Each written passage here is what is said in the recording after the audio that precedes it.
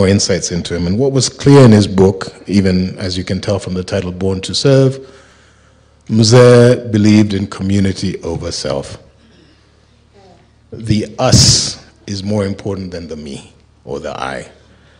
And because of his economics training, he, that was manifested in a, in a large part through industrial projects. He believed that Kenya could, and all other countries, the best path to develop was through industry-led development, where you actually take something and